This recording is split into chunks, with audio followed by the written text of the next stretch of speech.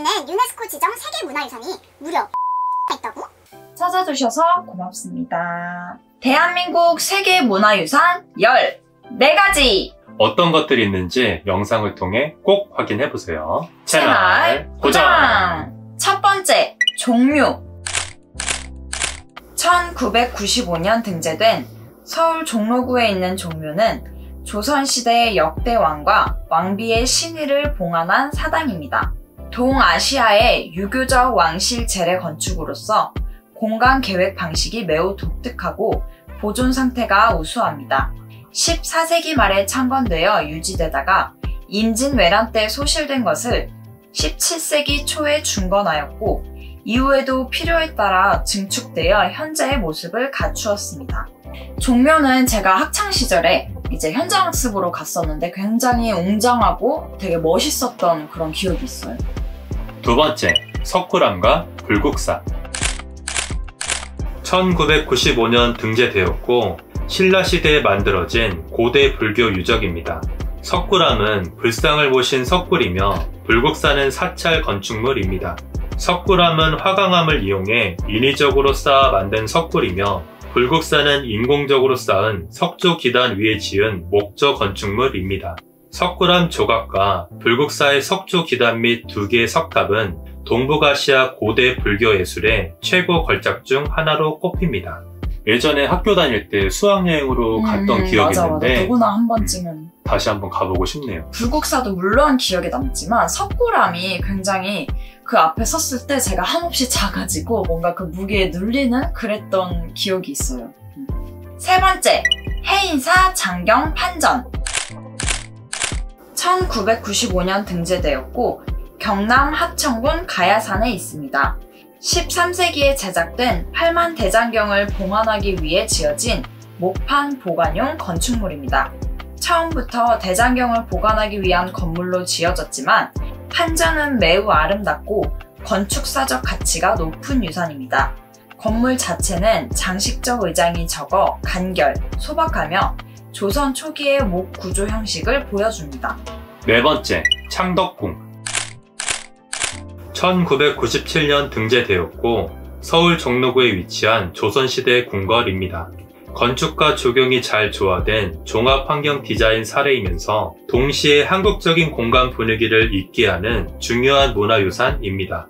건축사에 있어 조선시대 궁궐의 한 전형을 보여주며 후원의 조경은 우리나라의 대표적인 왕실 정원으로서 가치가 높습니다. 다섯 번째, 수원 화성. 1997년 등재되었고 수원 시내 한복판의 광범위하게 위치합니다. 우리나라 성곽 문화의 백미로 꼽히는 수원 화성은 외국 성곽의 장점만을 흡수해 완벽하게 건설된 도시 성곽이며 세계 최초의 계획된 신도시라는 점에서 주목할 만합니다. 정조 18년 2월에 시작하여 2년 6개월 만에 완공되었으며 당대에 동원할 수 있는 모든 능력과 기술을 집약시켰던 세계의 유산입니다. 여섯 번째, 고인돌 유적. 2000년에 등재되었고 고인돌은 특히 우리나라와 중국, 일본 등 동북아시아 지역에서 많이 발견되고 있습니다. 세계 고인돌의 40% 이상이 한국에 모여 있습니다. 그래서 고인돌 왕국이라는 표현을 쓴다고 합니다. 일곱 번째, 경주 역사 유적 지구. 2000년에 등재되었고 경주 역사 지구에는 조각, 탑, 왕릉, 산성 등을 비롯해 신라 시대의 뛰어난 불교 유적과 생활 유적이 집중적으로 분포되어 있습니다. 7세기부터 10세기 사이의 유적이 많으며 이들 유적을 통해 신라 고유의 탁월한 예술성을 확인할 수 있습니다. 경주는 천년의 역사를 간직한 신라의 수도로 신라인의 생활 문화를 잘 보여줍니다. 여덟 번째, 제주 화산섬, 용안 동굴.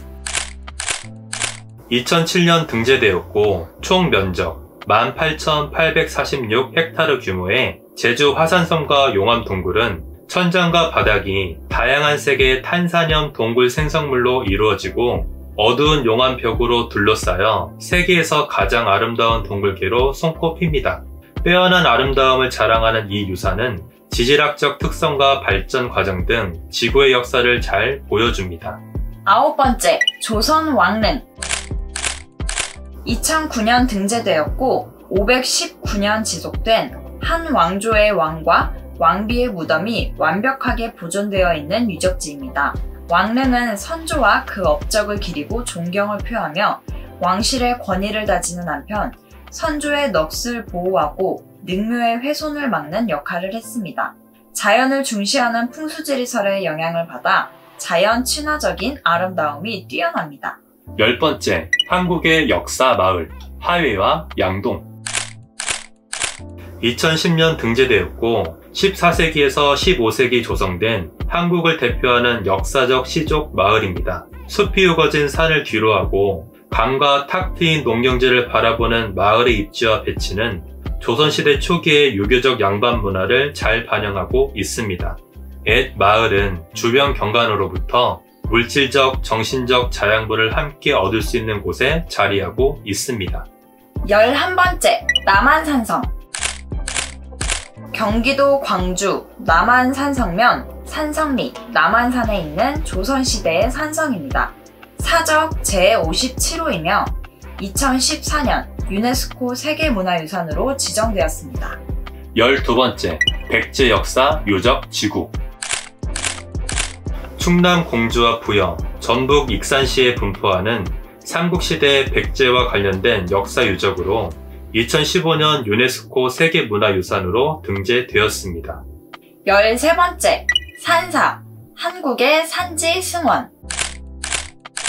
2018년 등재되었고, 통도사, 부석사, 봉정사, 법주사, 마곡사, 서남사, 대흥사 등 7개 사찰인 종합적인 불교 승원으로서의 특징을 잘 보존하는 대표적인 사찰로 한국 불교의 개방성을 대표하면서 승가 공동체의 신앙 수행 일상생활의 중심지이자 승원으로서 많은 기능을 유지하여 왔습니다.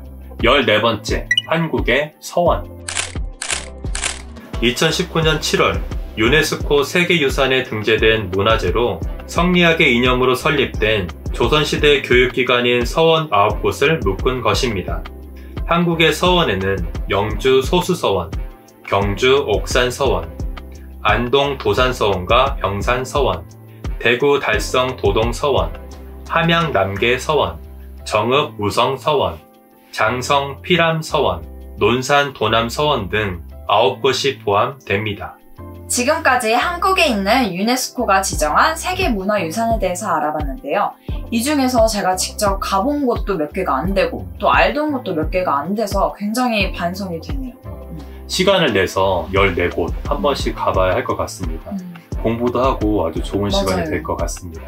지금까지 한국에 있는 유네스코가 지정한 세계문화유산에 대해서 알아봤는데요. 다음 시간에도 더욱 유익한 정보를 가지고 찾아오겠습니다. 더 많은 유익한 정보를 계속 보고 싶다면 구독, 좋아요, 알람 꼭 잊지 마세요. 지금까지 시청해주셔서. 고맙습니다.